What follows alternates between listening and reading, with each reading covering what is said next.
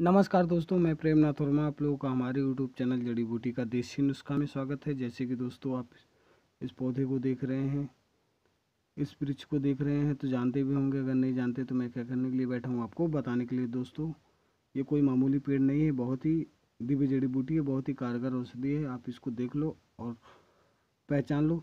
दोस्तों, आज हम बात करेंगे कि एक्जिमा जिसको एक्जिमा बोलते हैं, एक्जिमा हो जाता है हमको तो उससे एक्जिमा से निजात कैसे पाना है? तो दोस्तों, आप इसको देख लो। तो दोस्तों, ये जो आप देख रहे हो, पौधा, ये जो पत्ते देख रहे हो आप, ये कोई मामूली पत्ता नहीं है, ये बहुत ही दिव्य जड़ी बूटी है, बहुत ही कारगर औषधि है ये।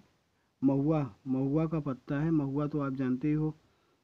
तो दो, दोस्तों, आप इसको देख लो, महुए के पत्ते को देख लो, कैसा होता है। तो दोस्तों, अभी अभी हमने बात किया कि एक्जिमा से कैसे निजात पाना है हमको तो आज एक्जिमा के बारे में बात करेंगे। तो दोस्तों, आप इसको देख लो और पहचान लो। दोस्तों, इसका पेड़ जो होता है, महुआ का पेड़, वो हमारे पूरे भारत में पाया जाता है अलग अलग राज्यों में अलग अलग नाम से जाना जाता है। तो दोस्तों, ये हमारा भारतवर्ष जो है, ये जड़ी बूटी का खजाना है। भारतवर्ष जो है, वो हमारा जड़ी बूटियों का खजाना है। तो दोस्तों, आप इसको देख लो और पहचान लो। ये भारतवर्ष में हर राज्यों में पाया जाता है। तो इसकी, ये देख लो, इसके डंठल नहीं है ये। और ये इतना दूधीला पौधा होता है, इसमें बहुत ज़्यादा दूध निकलता है, दुधारू पौधा होता है।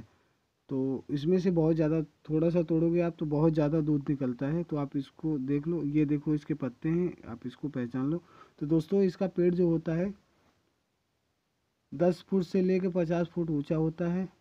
और बहुत ही विशाल पेड़ होता है। इसमें महुआ आता है, महुआ का फल होता है, इसके बाद महुआ फूल होता है और इसके बाद कोडिन्ना बोलते हैं उसको कोयनी कोयनी भी बोलते हैं। इसका तेल जो होता है वो तेल खाने के भी काम में आता है और उसकी दवाइयाँ भी बनाते हैं। तो आयुर्वेद के अनुसार ये जड़ी बूटियों में इसका सदियों से उपयोग होता आया है। तो दोस्तों, ये इसका तेल जो होता है वो बहुत ही कारगर होता है बहुत ही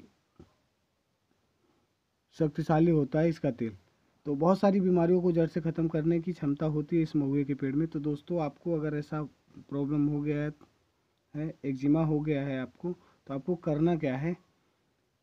कि इसके पेड़ को देख लेना है आपको? आसानी से मिल जाएगा। इसका पेड़ जो है वो बहुत आसानी से मिल जाएगा आपको बहुत आराम से मिल जाएगा। हमारे भारतवर्ष में हर राज्यों में पाया जाता है। तो आपको इसके पेड़ को देख लेना है और इसके पेड़ को देखने के बाद आपको इसके पत्ते को लेके आना है आपको। इसके पत्ते को लेके आना है, इसका पत्ता ले लेना है, जो कोमल पत्ते होते हैं इसके, उसको लेके आना है। आपको उस पत्ते को बारीक पीस लेना है। सिल बट्टे पे पीसो या मिक्सर में पीसो, बारीक पीस के उसका लेप बना लेना है। इसका लेप बनाओ, अपने एक्जिमा के अकॉर्डिंग जितना एक्जिमा मतलब हुआ है, ज़्यादा अगर हो गया आपके बॉडी में ज़्यादा है तो थोड़ा ज़्यादा तादाद में ले लो। सौ, दस से पंद्रह ग्राम के मात्रा में ले लो इसके पत्ते को, उसका लेप बना लो और उसमें आपको तिल का तेल मिलाना है, तिल का तेल। तिल का तेल उसमें दो से तीन ग्राम डाल दो। दो से तीन ग्राम डालने के बाद आपको उसको गर्म कर देना है, गर्म करके उसको उतार देना है। जब गर्म हो जाता है तो उसको उतार देना है। जब हल्का हल्का गर्म रहे तो आपको अपने एक्जिमा पे लगाना है। जितना हुआ है आपके पूरे बॉडी में एक्जिमा उस पर लगाना है आपको। दो से तीन दिन आप लगाते हो तो धीरे धीरे वो ख़त्म होने लग जाएगा, सही होने लग जाएगा। और कुछ दिन तक आप लगाते रहे, एक हफ़्ते तक तो वो बिल्कुल जड़ से ख़त्म हो जाएगा आपका। सही हो जाएगा, फिर दोबारा एक्जिमा होगा ही नहीं आपके बॉडी पे। तो दोस्तों, जिस प्रकार से आपको बताया गया है उसी प्रकार से इसका इस्तेमाल करना है और उतने ही मात्रा में आपको लेना है।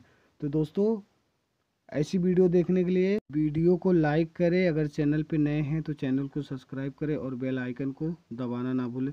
तो दोस्तों, हमारा वीडियो बनाने का यही मोटिव रहता है। आप स्वस्थ रहो, मस्त रहो। नमस्कार, जय हिंद।